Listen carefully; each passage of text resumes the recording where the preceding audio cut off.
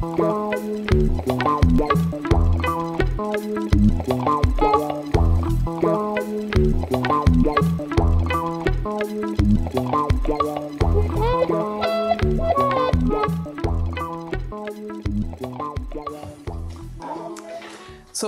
this is the outline of my talk. First, I want to introduce my motivations to, to write nonlinear schemes for linear equations. And then I will uh, say some words ab about uh, nonlinear two-point flux approximation finite volume schemes. And then, uh, as we are in a polytopal conference, I will uh, say some words about nonlinear DDFV schemes that should work on almost general meshes. And at the end, I will show you some numerical results. Okay, so I start with the motivation. I will study a very basic problem today. It is just a Fokker-Planck equation, so just a convection diffusion equation. It may be, we may have some anisotropy, but uh, we just have linear diffusion and linear convection. So the, convec the convection field uh, is assumed to derive from a potential V. And uh, this equation will be su supplemented with boundary conditions. So the boundary uh, gamma will be splitted in two parts, may be splitted in two parts. On one part, I will have Dirichlet boundary conditions, and on the other part, no flux boundary conditions. And it is also supplemented with a, an initial condition. Okay, these kind of equations arise uh, in many uh, different frameworks, and uh, I give you just two examples. So one example is uh, for semiconductor models or corrosion models. So in this ca case, uh, lambda is just an identity matrix. And in general, we consider drift diffusion systems of equation. It means that we have two, two convection diffusion equations coupled with a, a Poisson equation for the potential. It arises also in porous media flow. And uh, in this case, lambda is bounded, symmetric, and uniformly elliptic, and V, if I, so I, I choose V as G times Z, so that the gradient is just the, uh, the G vector. So the assumptions for the sequel, V will be a regular function. It is a given function in this talk. And uh, we assume that uh, the initial data, U naught, is uh, non-negative, but the total mass is positive. Okay, so this equation has been widely studied, and uh, uh, so for different kind of boundary conditions, we know that the problem is well posed. We have existence and uniqueness of the solution. We also have non-negativity of the density U, and in the case of no flux boundary conditions, so if uh, we have no Dirichlet boundary conditions, we have also mass conservation. Um, we also have some results about steady states, and in some cases we have existence of a thermal equilibrium. So what is a thermal equilibrium? It is a steady state for, we, for which the current vanishes. And in practice, you see with the, the form of the current, J, if uh, you choose U, so U infinity, it is a steady state, as a, a constant time exponential minus V, in practice, the current vanishes, but it, it is a solution, a steady state to this equation, just in, in, so in different cases. So if we have no, just no flux boundary condition, in practice uh, it works. This is a steady state, and the lambda is fixed by the conservation of mass. So we deduce lambda from the fact that the integral, the the mass of the steady state must be the mass of the initial condition. If uh, on a part of the boundary we have some Dirichlet boundary condition, then this, the boundary data, UD, must satisfy a compatibility assumption so that this equality is satisfied at the boundary and then lambda is prescribed by the boundary data. Okay, so for no flux boundary conditions or boundary, Dirichlet boundary condition at thermal equilibrium, we have the existence of uh, thermal equilibrium. Okay, now I am interested in the long time behavior of the Fokker-Planck equation. And uh, this problem has been also widely studied in many different papers, and uh, I have not uh, put some references. It's a long list of references. But uh, in practice, for the kind of boundary condition I showed you, we are able to prove the exponential decay of uh, the evolutive, the solution to the evolutive equation towards the steady state. And uh, so we have here two constants, depending C and kappa, depending only on the data, so that we have the decay in L1 norm of u t, of a time t to u infinity. In practice, to prove these results, we have two steps. One step is to show that some an energy, so an internal free energy, is um, dissipated a long time. So this quantity E, the integral of u log u over u infinity, in practice it can be seen as the relative free energy to the steady state. Okay, the, if, if, we, would have only the integral of u log u, it is exactly the free energy, and here we, we add this u infinity here. It's, we have different way to rewrite this quantity, but it is a relative free energy. You see, this quantity, if we derive it, then uh, in practice, here we get dtu times the log of u over u infinity. And in practice, to prove this equality, we just have to multiply the equation by log of u over u infinity and to integrate. And if we notice that the flux can be rewritten, uh, so we can rewrite V by using the relation between V and the steady state, and J, J is equal to minus U, the gradient of log of U over U infinity. So that when you multiply this equation by log of U over U infinity and you integrate over omega, you integrate by parts, you exactly get that the dissipation is the integral of u, the gradient of log of u over u infinity to the square. And this quantity can be rewritten under this form. And you see you have a kind of uh, Fisher information. So this quantity can be seen when u infinity is a constant, it is a Fisher information, and it, it is a kind of Fisher information. So just using the properties of the derivative of the log and of the square root, you have this equality. Okay, so you have dissipation of the energy uh, a long time, and you know what is the dissipation of, of the energy. And now, if you want to prove these results, you have two steps. First, you use a logarithmic Sobolev inequality, uh, which says that E is bounded by a constant time I.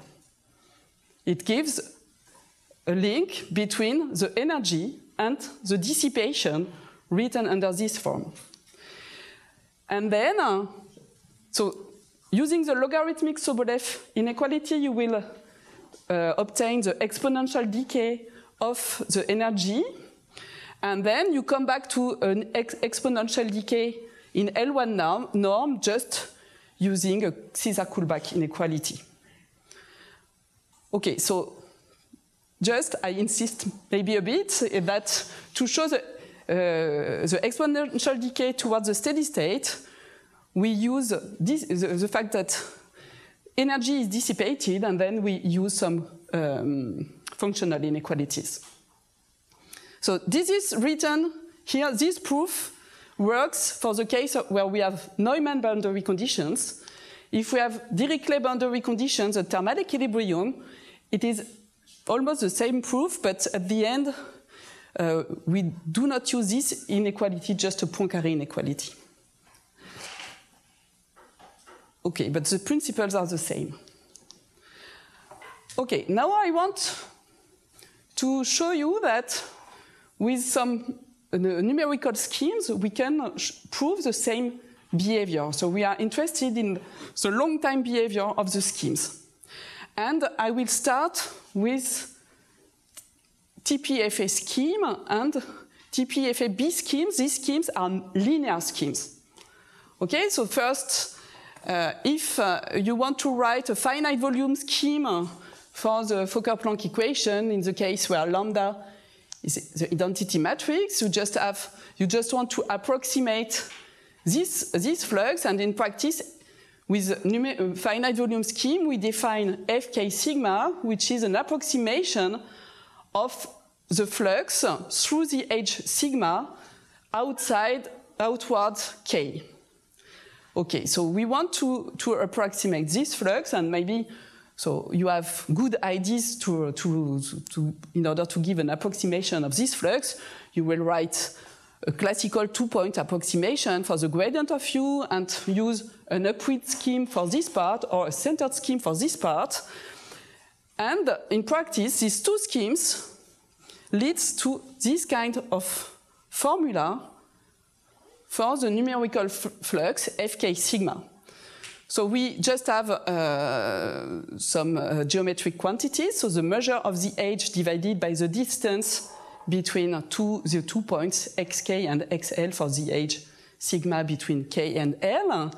And you have function b, b of vl minus vk, so when, when v is given, vl will, will, or vk will be v at xk at the center b of vl minus vk times uk minus b of minus vl plus vk times ul.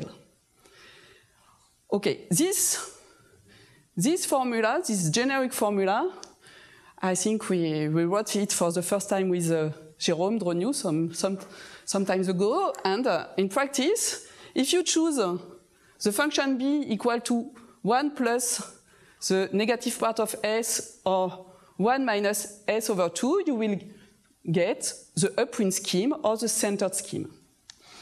Now, there is one scheme which is well known in the, for, for the approximation of drift diffusion systems, so in the context of uh, semiconductor devices, it is a Scharfetter-Gummel scheme. And in this case, the function b is a Bernoulli function s divided by exponential of s minus 1. So we have a general uh, form for the, for the fluxes, and what is crucial, it is the hypothesis on B. B at zero must be equal to one, B must be positive, and we have this relation, B at S minus B at minus S must be equal to minus S. It permits at the end to, uh, uh, to so here you don't see where is the convective part and where is the, the, diffusive part in the numerical approximation, but at the end, when you pass to the limit uh, into the scheme, you want to recover the, the, the diffusive part and the convective part, and you will use this hypothesis. Okay, so here you have a family, a family of B schemes, linear schemes, for the uh, drift diffusion equation. Okay, so in practice, the scheme, so I, in the last slide, I just give the gave the definition of the numerical fluxes. After that, here, the full scheme is written. I use um, an implicit Euler discretization in time. And for this scheme, okay, we are able to prove existence and uniqueness of a solution to the scheme we have also preservation of the positivity, or, the positivity conservation of mass, and uh, some we are able to prove convergence, but I want to focus now on the steady state. And in practice, if you forget this term, you have the scheme for the steady state, and you, you, we are able to prove existence of a steady state, UK infinity. And what happens is that if you want that this steady state uh, is an approximation of the thermal equilibrium, so you want that this steady state has the form uk infinity is a constant time exponential minus vk. Okay, you want that this relation implies that the numerical flux is equal to zero. In practice, it works if and only if you choose the Scharfetter-Gummel scheme, the Bernoulli function. Okay, however, for the other cases, you, you still have a steady state, but it's not, it's just an approximation of the thermal equilibrium. It's not equal to the thermal equilibrium. Okay, so with uh, Maxime Herda, we proved that for, for all these schemes, we have exponential decay of the scheme towards the discrete steady state. And it means that with the Scharfetter-Gummel scheme, we have decay towards the thermal equilibrium. Okay, it's not the main subject of, of my talk, so now, uh, just for the motivation, we have already some good results, but we have main drawbacks, drawbacks with uh, the TPFA scheme. The first one is that we have some admissibility hypothesis for the mesh. Uh, so we have an orthogonality property which must be satisfied here by xk xl uh, to, uh, to sigma. And uh, we would like not to have this hypothesis. And we are also reduced to uh, assume that uh, the problem is isotropic. And we would like to go further on. Okay, so now what are the requirements for, uh, wanted for a new scheme? We would like uh, to be, it to be applicable on almost general meshes, to be applicable for anisotropic equations, but we want it also to preserve the thermal equilibrium and to be energy diminishing and to ensure the positivity. Okay, so the idea is to build a scheme which will uh, fulfill all these uh, requirements. Okay, but not exactly now, in a few, uh, in a few minutes. Before, I want to introduce some nonlinear two-point flux approximation finite volume schemes because if uh, it will help for the introduction to the nonlinear DDFV schemes. So in this case, I, now for this, this, the next three or four slides, I still assume that lambda is equal to the identi identity and that the mesh is admissible. Okay, so what is uh, the idea for the nonlinear TPFA schemes?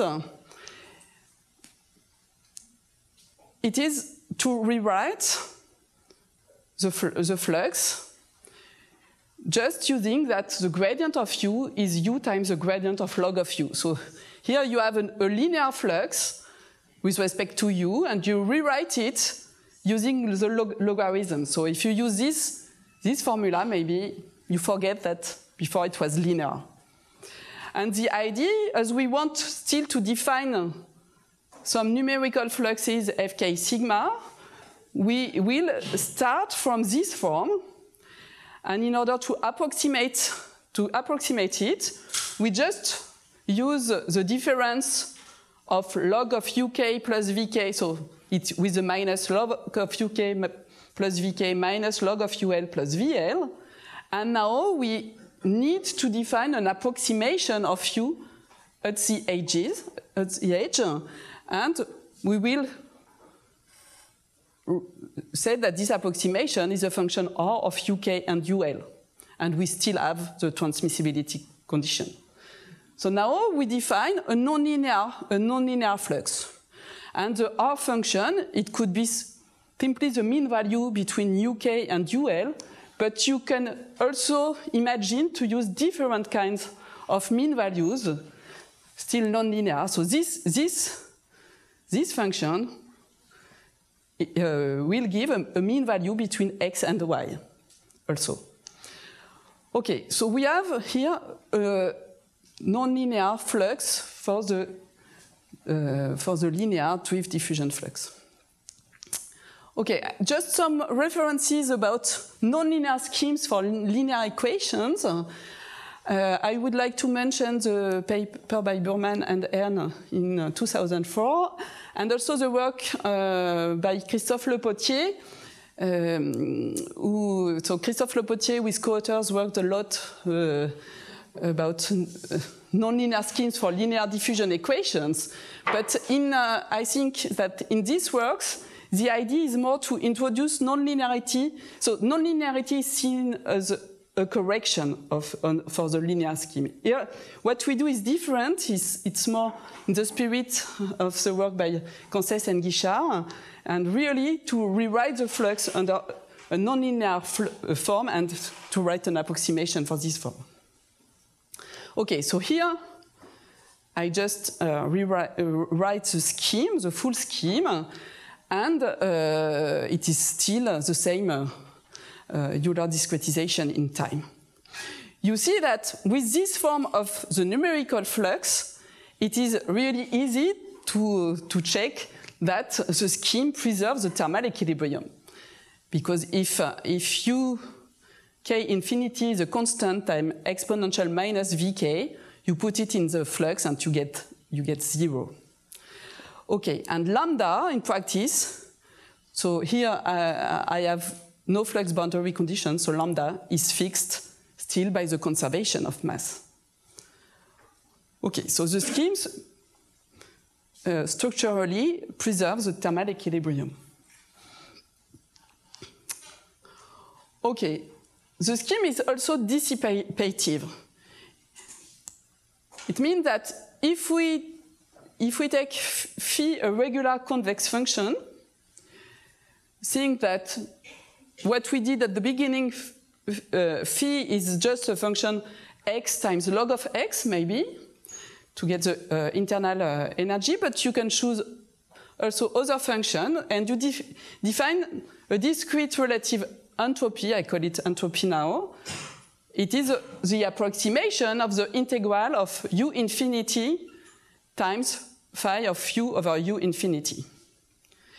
And this, this relative entropy uh, satisfies this inequality, so it means that the entropy is uh, um, dissipated a long time, and here you have the dissipation. And I show you here the formula for the dissipation term. So we have two steps in order to prove this inequality with this form. First, we use just the convexity of the function of, of the function uh, phi, and then we prove that this quantity is bounded by the sum of ukn plus 1 minus ukn over delta t times measure of k, or I forgot the measure of k here in the definition, times the logarithm of ukn plus 1 over uk infinity. So as in the, for the continuous case, we multiply the scheme by log of uh, u n plus 1 over u infinity, and we sum over the ages, we integrate by part, and we get this, this formula. So I know, yes, it's log, it's phi prime in this case, phi prime of uk over u, uk infinity. Okay, you see that it is really a dissipation term because the logarithm and the phi prime function have the same monotony, so it is a positive term. Now, if uh, you choose a different kind of function phi, okay, so maybe this kind of function, they do not have exactly the regularity in order to write the previous uh, computations, but we can re regularize them. And then using this kind of function, and maybe in the case of u, of, in the case where u not has a lower bound, we are, we are able to prove uniform bounds for the solution to the scheme. There are a priori uh, estimates, so that with these a priori estimates, we are able to prove existence of a solution to the scheme via a topological degree argument. Okay, now how can we get the exponential decay of the scheme? We choose this uh, test this function phi, so it means that the entropy is exactly the discretization of, uh, of the free energy, still with the measure of k here. And you see that the dissipation term now has a similar form to the continuous uh, uh, to the continuous uh, case. So we have something which is a kind of discretization of the integral of u times the gradient of log of u over u infinity to the square. Okay, now at the discrete level, it's not possible to show that it is equal to a discretization of the Fisher information. But we have a good, uh, good sense for the inequality. So we are able to prove that the dissipation term is bounded by the, this term at uh, i, and you see that this term is, it, is, uh, it can be seen as a discretization of the, Fish, uh, the Fisher information, so the integral of u infinity times the gradient of the square root of uh, u over u infinity to the square. So if we want to, to prove the exponential decay after that, we need some discrete logarithmic Sobolev inequality, which give a, a, a link between the uh, relative free energy and the Fisher information. Okay, so this is the work we are doing currently with uh, Maxime Herda, Clément, and uh, Cancès and Stella, and uh, we are write, now writing this, this result. So it's the first time I show this, uh, these slides. Okay, so with this, this, uh, these two steps, we show the exponential decay of uh, the nonlinear scheme towards the, the steady state. Okay, so now uh, I would like to apply the same kind of technique in order to, to write DDFV schemes and these schemes will be applicable to almost general meshes and also for anisotropic uh, equations. Okay. There are some experts of DDFV schemes in the room, but uh, not everybody. So I first uh, recall the principles of the DDFV scheme for diffusion equations. Uh, for these schemes, we have unknowns located at the centers and the vertices of the mesh. Okay, because with unknowns at the centers and the vertices, it is possible to uh, de define a discrete gradient defined, uh, defined on a diamond mesh. And I think that for that, uh, I would like to refer to the work of uh, Yves Coudière with uh, Vila and Villedieu. And so we have a definition of the discrete gradient. Now, maybe it was noticed by Domelevo and Omnes, it also it's also possible to define a discrete divergence on a primal mesh and a dual mesh. And uh, finally, we get the scheme by integrating the equation on primal cells and dual cells. And this scheme is based on a discrete duality formula. Okay, this is how to present the DDFV schemes just with words. And now I have to, to, to put that in the mathematical framework. So first, I introduce, so you have a primal mesh, and in practice, we also define a, a boundary mesh. So we, for the boundary mesh, we have just the edges from the boundary. So Given a mesh and a boundary mesh, it is possible to define a dual mesh, M star, and here we have the inner boundary mesh and the, the inner mesh, sorry, and the boundary mesh, dm star. Now, joining the centers and uh, the centers of the control volumes and the vertices of one edge, we define a diamond mesh the space of the discrete unknown is uh, it is uh, this space R2. It, uh, it, means the discrete unknowns are defined uh, for the, the centers of uh, the, um, prime, the primal mesh and the vertices, so the centers of the dual mesh.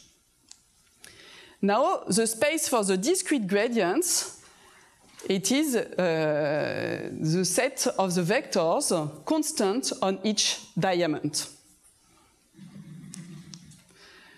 Okay, it means that you have a discrete gradient which apply to the set of unknowns and which defines a discrete gradient on each diamond, and a discrete divergence operator which applies to uh, some vectors constant on each diamond, and it uh, gives a discrete divergence for each primal and, uh, and dual cells. We also define scalar, some scalar product and norms by this way. And what is crucial with this DDFV scheme, it is the discrete duality formula, which is just uh, the discrete counterpart of the green formula. So you have the, here, it is the discrete counterpart of the integral of the divergence of xi uh, times v, and here the integral minus the integral of xi times the gradient of v. As I, I will just uh, have no flux boundary condition, I, I forget the, the term on the, on the boundary. Okay, so we have uh, this discrete formula. So now it's quite easy to write the DDFV scheme for, the, for an anisotropic diffusion equation. You start with the equation minus divergence of lambda times gradient of u is equal to f, with boundary conditions. And the DDFV scheme is just obtained by replacing uh, the operators divergence and gradient by the discrete divergence and the discrete gradient. Okay. So, but this, here you have a compact form for, uh, for, so for, for, the, for the scheme. In practice, you can write what happens on each primal cell or each dual cell. It's essential if you want to implement the scheme. But you can also write a kind of variational formulation. So it means you will multiply this equation by some test function, vt, and you will integrate. It means you will use the scalar product. And in practice, if you use the, the discrete duality formula, you find this variational formula, formulation of, of the scheme. And in practice, these two formulations are equivalent. Okay, so I will just change a bit the way of writing this term. I use a scalar product where lambda is in the scalar product. And you have a, so that this term is a scalar product between the grad, discrete gradient of u and the discrete gradient of v uh, with this new definition of the, of the scalar product. So this is the scheme for an anisotropic diffusion equation.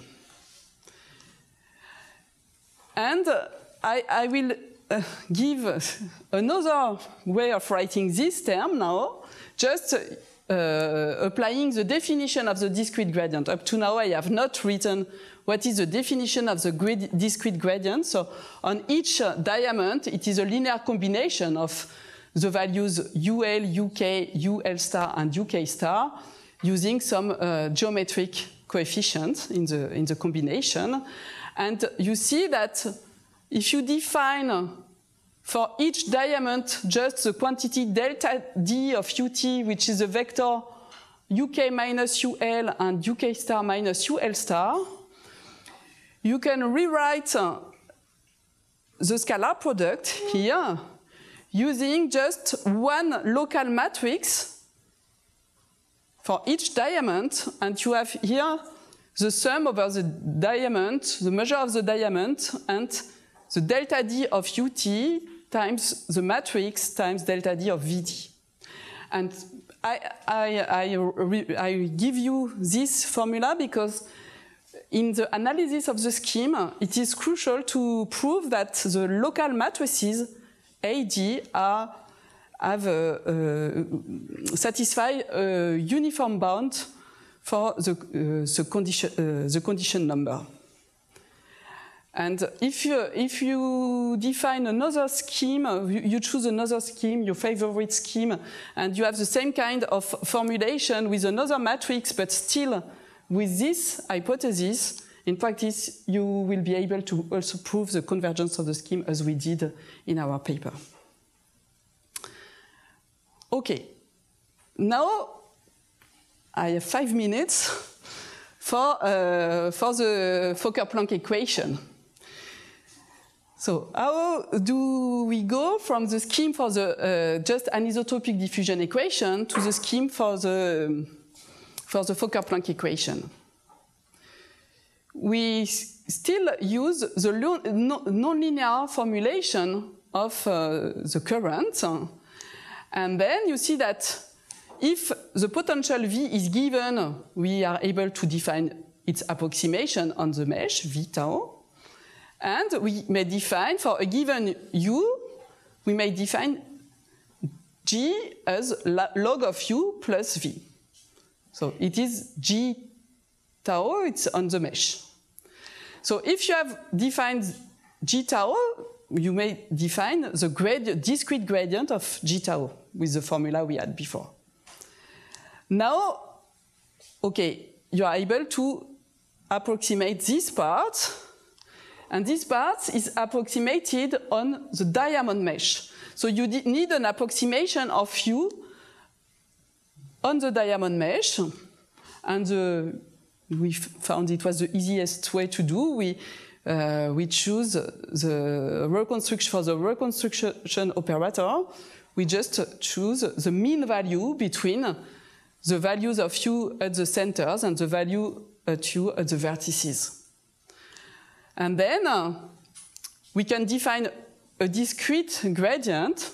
It is minus the reconstruction of u on the diamond times lambda defined on the approximated on the diamond, the grad discrete gradient on the diamond. And if we use this definition, we can define now the scheme for the evolutive equation still using uh, an implicit Euler scheme in time. So we write ut n plus 1 minus ut over delta t plus the discrete divergence of the discrete current is equal to zero, and you have the definition of the discrete current. Okay, what will help for the a priori estimate is to write the variational form or a compact form. So it, it's obtained by multiplying the scheme by a test function psi and integrating over the mesh. So integrating, it means using this uh, scalar product. And then the dissipation term, oh no, it's not already the dissipation term, but uh, the, uh, the approximation of the divergence uh, it is exactly the sum. Uh, as before, we just have to change. Here we have g, not forget g, so it is a sum of the reconstruction of u times delta d of g, scalar a times delta d of psi. And g is the logarithm of u plus v. Okay, maybe uh, I will skip a bit just to say that with this scheme, it's easy to check that uh, it satisfies in the thermal equilibrium because we have a mass conservation. In, in practice here, we have mass conservation over the, the, over the primal and the dual uh, mesh. And we still have an energy dissipation property. Okay. Uh, so with uh, Clément Cancès and Stella Krell for this scheme, we proved that uh, we have the decay of the free energy and some bounds. We then got some a priori estimates related to Fisher information. We established positivity and lower bound of the approximate solution and existence of a solution to the scheme. Then we also got the compactness of a sequence of approximate solutions and we proved the convergence. In practice, it's not exactly for the scheme I showed you because we are we have to introduce a penalization term so that we have uh, the converge, the, the, okay, we get uh, the convergence of uh, the sequence of solution for the Uh, uh, uh, reconstructed on the primal and the dual mesh. And if we want to have the same limit, we need to add a penalization term. okay, maybe for the last slide, I will, we have a test case on, on a Kershaw and uh, on a quadrangle, uh, quadrangle meshes, a sequence of Kershaw and quadrangle meshes. And just for this test case, I've, we prove that it is order 2 and satisfies the positivity. I just want to show you what happens with the long time behavior. So we, we, we really observe the exponential decay of the discrete relative energy towards, uh, towards zero. So it means the exponential decay of the solution towards uh, the thermal equilibrium. So as a conclusion, so the results we obtained uh, for the nonlinear schemes are well-posedness of the schemes, preservation of the positivity and the bounds, preservation of the steady state when it is a thermal equilibrium, exponential decay towards the steady state, and it works for different kind of schemes. So on uh, on some restricted meshes, TPFA uh, schemes, but also on almost general uh, Uh, meshes, the DDFV schemes. And my question is now for the assembly of people working on VEM and the HHO method and so on. Is it possible, do you mean that it would be possible to extend this kind of techniques to high order methods? Thank you.